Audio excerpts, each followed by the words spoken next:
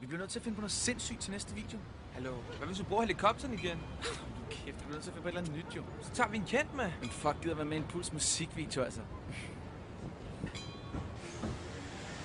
Du er så fucking dope Wow, I ser fucking dope ud.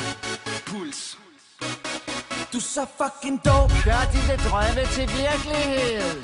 I love it.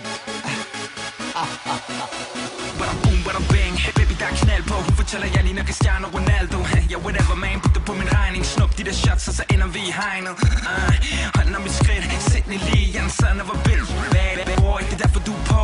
Baby, let's go. Du er så fucking dope. Jeg ved, jeg har sagt det før, men du Du får mit hjerte til at slå. Du er så fucking dope. Og jeg ved, jeg har sagt det før, men du Du maler mine skyer blå. For du er så fucking dope, dope,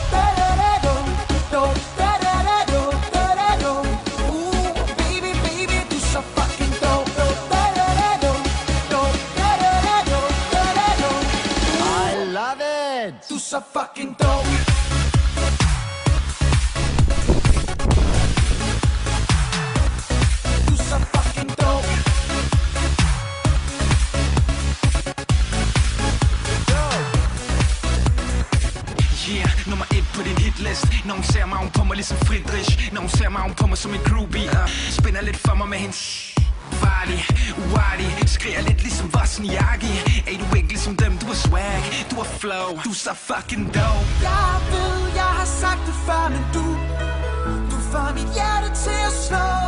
Du er så fucking dope